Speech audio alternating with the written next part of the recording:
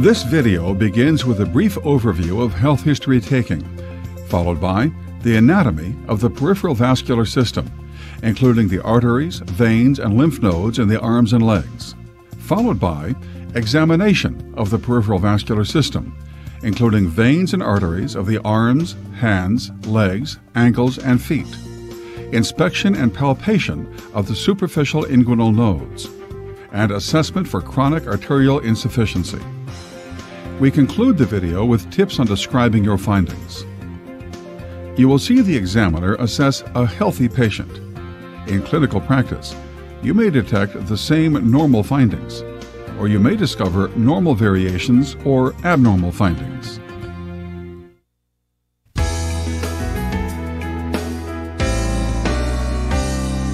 The health history interview is a conversation with a threefold purpose to establish a trusting and supportive relationship, to gather information, and to offer information.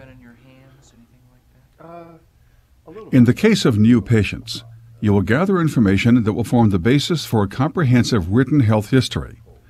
For patients seeking care for a specific complaint, you may prepare a more focused, problem oriented history. In either case, you will record the patient's chief complaint, along with common or concerning symptoms. Common or concerning symptoms relating to the peripheral vascular system include pain in the arms or legs, intermittent claudication, cold, numbness, or pallor in the legs, hair loss in the extremities, color change in fingertips or toes in cold weather swelling in calves, legs, or feet, and swelling with redness or tenderness. By eliciting the patient's concerns before the examination, you prepare for an examination that is efficient and productive. Take all your clothes off except for your underpants, and then put the gown on so the open part is to the rear, and then I'll come back in and take a look.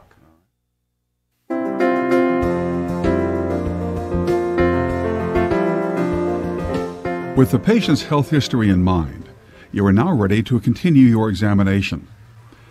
Before proceeding, however, let's briefly review the anatomy of the peripheral vascular system.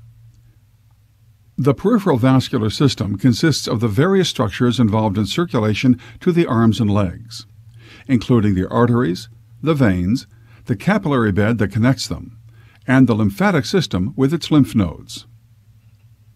Arteries carry oxygenated blood away from the heart. When arteries lie close to the body's surface, you can feel their pulsation. In the arms, arterial pulses are palpable in three locations. The brachial pulse can be felt at and above the bend of the elbow, medial to the biceps tendon and the muscle. The radial pulse can be felt on the flexor surface of the wrist laterally. The ulnar pulse may be felt on the flexor surface of the wrist medially. However, overlying tissues frequently obscure this pulse. The arterial arches interconnect the radial and ulnar arteries and help protect hand and finger circulation from arterial occlusion. In the legs, arterial pulses can usually be felt in four places the femoral artery in the groin, the popliteal artery behind the knee, the dorsalis pedis artery on the dorsum of the foot, and the posterior tibial artery behind the medial malleolus of the ankle. An interconnecting arterial arch protects the circulation of the foot. Veins, which may be deep or superficial, carry deoxygenated blood back to the heart.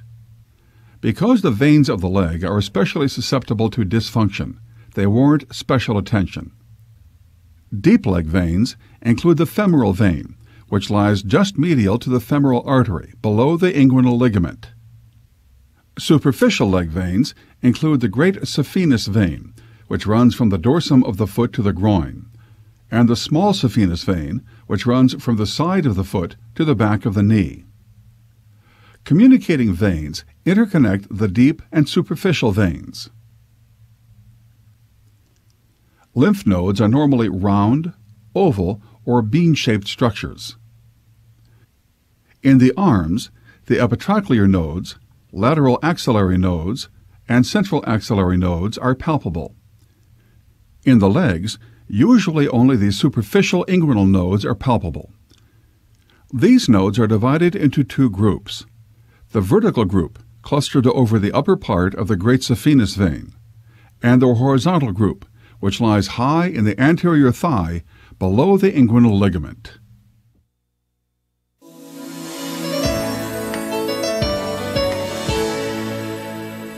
To examine the peripheral vascular system, begin by inspecting both arms from the fingertips to the shoulders. Note areas of edema, discoloration, rashes, scars, and changes in skin texture. None are seen here. Also note hair distribution and venous patterns. Assess the skin temperature of the hands and lower arms with the sensitive backs of your fingers comparing both sides. If you detect unusual coolness or temperature differences, check further up the arms. Next, palpate the radial pulses using the pads of your fingers on the flexor surface of the wrist laterally. Compare their amplitudes.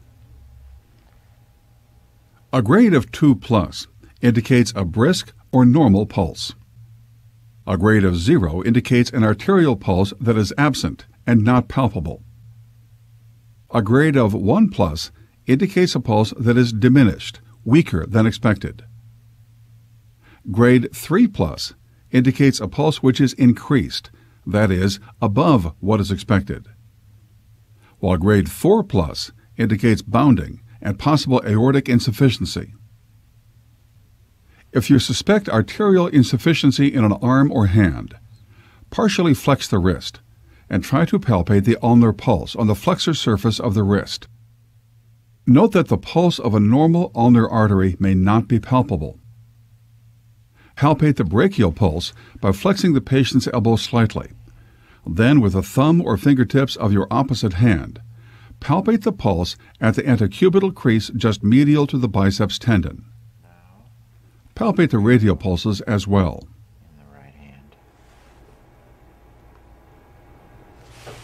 To help determine the patency of the ulnar artery, perform the Allen test. Place your thumbs lightly over the radial and ulnar arteries and tell the patient to clench his fist tightly.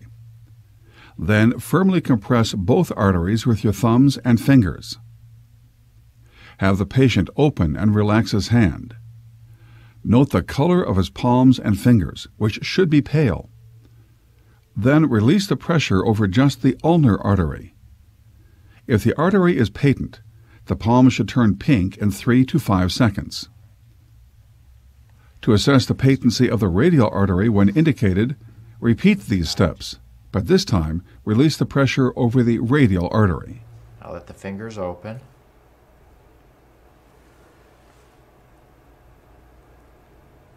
Good. Next, try to feel for one or more of the epitrochlear nodes. With the patient's elbow flexed at approximately 90 degrees and your hand supporting the forearm, feel in the groove between the biceps and triceps muscles about 3 centimeters above the medial epicondyle.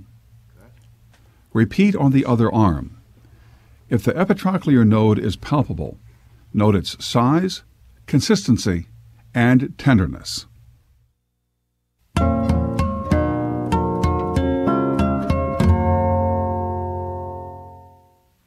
To examine the legs, the patient should be lying down and draped so that the genitalia are covered, but the legs are fully exposed. Socks or stockings should be removed. Inspect both legs from the groin to the toes, noting symmetry in size, shape, and color. Also, note areas of swelling, discoloration, rashes, scars, ulcers, and abnormal venous patterns on the lower legs, feet, and toes. Observe the color and texture of the skin and nail beds, and the distribution of hair. Assess the skin temperature of the feet and lower legs with the back of your fingers. If you notice unusual coolness or temperature differences, check further up the legs.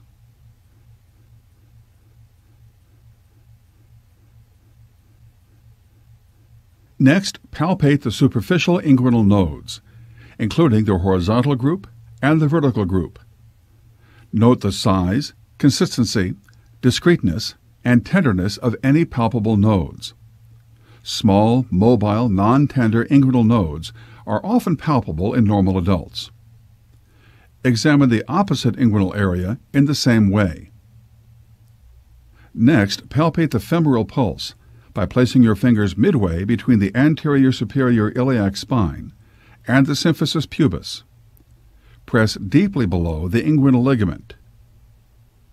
When palpating the femoral pulse, if the patient is very obese, you may need to place one hand on top of the other, as demonstrated here, to facilitate examination of the femoral pulse and inguinal area. I'm going to check the pulses in your knee now. You just relax. To examine the popliteal pulse, slightly flex the patient's knee. Press the fingertips of both hands deeply into the popliteal fossa, slightly lateral to the midline. The popliteal pulse is frequently more difficult to find than other pulses because it is deeper and more diffuse. I'm going to check the other leg now. Compare this pulse with the popliteal pulse on the other side. Can you just relax? If the popliteal pulse is difficult to find, try this approach. With the patient prone, flex his knee to 90 degrees. Let his lower leg relax against your shoulder or upper arm and press your thumbs deeply into the popliteal fossa. Next, assess the dorsalis pedis pulse by palpating the dorsum of the foot just lateral to the extensor tendon of the big toe. If you cannot feel the pulse, move laterally. The dorsalis pedis pulse may be congenitally absent. Check the posterior tibial pulse by curving your fingers behind and slightly below the medial malleolus of the ankle. Then feel for both of these pulses on the other foot. Now check for edema, comparing one foot and ankle with the other. Note their relative size and the prominence of veins, tendons, and bones. To detect pitting edema, press firmly with your thumb for at least 5 seconds over the dorsum of the feet, behind the medial malleoli,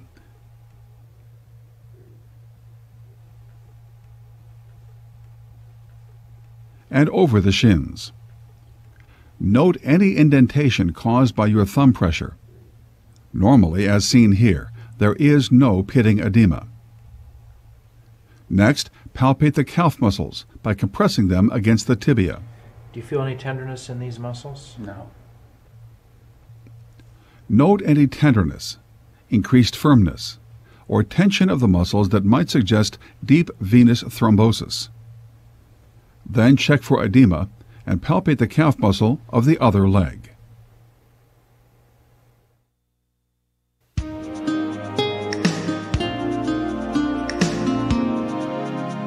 If the patient's diminished pulses or pain on walking suggest arterial insufficiency, look for postural color changes using the following technique.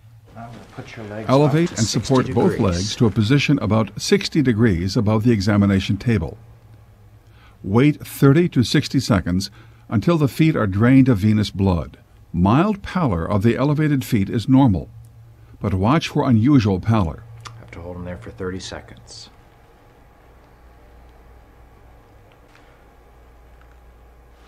Then ask the patient to sit up with his legs dangling. All right, now sit up. Comparing both feet, note how long it takes for the skin to return to its usual color, normally about 10 seconds, and for the veins of the feet and ankles to fill, usually about 15 seconds. If pinking cannot be seen, use venous filling instead. In lighter skinned patients, pinking of the skin is easily seen. Rubor or dusky redness, which may appear gradually in dependent feet, suggests poor arterial circulation. To complete the examination, ask the patient to stand in order to allow any varicosities to fill with blood and become more visible. Then inspect the saphenous system for varicosities, noting any signs of thrombophlebitis. Any tenderness in this area? No. Or in here? No. Look for redness or discoloration and feel for tenderness and cords. And palpation